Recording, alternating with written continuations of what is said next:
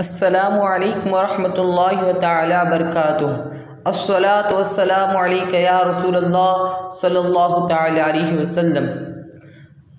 ناظرین اکرام، آج میں آپ کو نعمت کسے کہتے ہیں بتلانا چاہتا ہوں۔ شروع کرنے سے پہلے ایک مرتبہ باوضو بلند آواز سے درود پاک پڑھ لیجیے۔ اللہم صلی علی سیدنا محمد معدل الجود والکرم وآلہ وبارک وسلم۔ صلاة والسلام علیک یا رسول اللہ صلی اللہ تعالی علیہ وسلم۔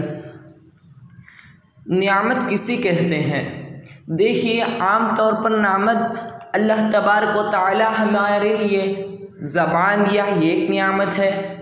دماغ دیا، ایک نعمت ہے، چلنے پھرنے کی طاقت دی، یہ ایک نعمت ہے۔ لیکن اللہ تبارک و تعالیٰ نے زبان دیا بات کرنے کی طاقت دیا اللہ تعالیٰ اسے نعمت نہیں کہا۔ اللہ تبارک و تعالیٰ ناک دیا، ناک میں سننے کی طاقت عطا فرمائی، لیکن اللہ تعالیٰ نے اسے نعمت نہیں کہا۔ اللہ تبارک و تعالیٰ نے کان دیا، کان میں سننے کی طاقت عطا فرمائی، لیکن اللہ تبارک و تعالیٰ اسے بھی نعمت نہیں کہا۔ اللہ تبارک و تعالیٰ نے دماغ دیا، دماغ میں کئی قسم کے معلومات حاصل کرے۔ دماغ میں بہت ساری طاقت عطا فرمائے، لیکن اللہ تبارک و تعالیٰ نے اسے نعمت نہیں کہا۔ اللہ تبارک و تعالیٰ نے ہاتھوں پر چلنے، پھرنے، کام کرنے کے لیے عطا کروائے۔ اللہ تبارک و تعالیٰ اسے بھی نعمت نہیں کہا۔ اللہ تبارک و تعالیٰ ہمارے لیے کھانا عطا کرتا ہے، لیکن اللہ تبارک و تعالیٰ اسے بھی نعمت نہیں کہا۔ اللہ تعالیٰ نے پہاڑ بنایا، اسے نعمت نہیں کہا۔ زمین بنایا، اسے نعمت نہیں کہا۔ آسمان بنایا، اسے نعمت نہیں کہا۔ بلکہ اللہ تبارک و تعالیٰ اسے نعمت کہتا ہے۔ کہ اس نے حضرت محمد مصطفیٰ صلی اللہ تعالی علیہ وسلم کی امتی کو بنایا۔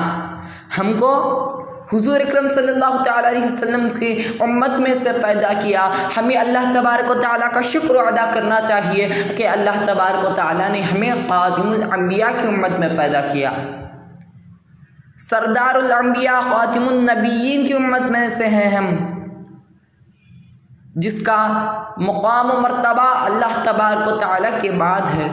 حضور اکرم صلی اللہ تعالیٰ علیہ وسلم وہ ہے جنہوں نے اللہ تبارک و تعالیٰ کو دیکھا۔ آقا جو جہاں حضرت محمد مصطفیٰ صلی اللہ تعالی علیہ وسلم وہ ہے جنہوں نے ہر حالت میں صبر کیا، جو اللہ تبارک و تعالیٰ کے محبوب بندے ہیں۔ اللہ تبارک و تعالیٰ جس جن کو رسول مانا ہے، خدا رسول خدا مانا ہے، اللہ تبارک و تعالیٰ انہیں زیادہ مقام و مرتبہ عطا کیا ہے۔ اللہ تبارک و تعالیٰ ہماری اس امتی میں حاضری فرمائے ہمارے نبی صلی اللہ تعالی علیہ وسلم کی چھوٹی چھوٹی سنتوں پر عمل کرنے کی توفیق عطا فرمائے۔ حضور صلی اللہ تعالی علیہ وسلم خیر سے متعلق جتنے بھی دعائیں مانگے ان میں ہمارا حصہ عطا فرمائے۔ حضور صلی اللہ تعالی علیہ وسلم کے پیارے پیارے ہاتھوں سے قیامت کے دن جامع کوثر پینا نصیب فرمائے۔ اللہ تبارک و تعالی حضور صلی اللہ تعالی علیہ وسلم کے نقش قدم پر چلنے کی توفیق عطا فرمائے۔ الصلاۃ والسلام علیکہ یا رسول اللہ صلی اللہ تعالی علیہ وسلم۔ سنی اسلامی مشن کو سبسکرائب کریں، ساتھ ہی بیل آئیکن پر کلک کر کے آل پریس کریں تاکہ سب سے پہلے ہمارے ویڈیوز آپ تک پہنچے۔ لائک کریں، اپنے دوست و احباب رشتہ دار سے شیئر کریں تاکہ سیکھنے اور سکھانے کا سلسلہ جاری رہیں۔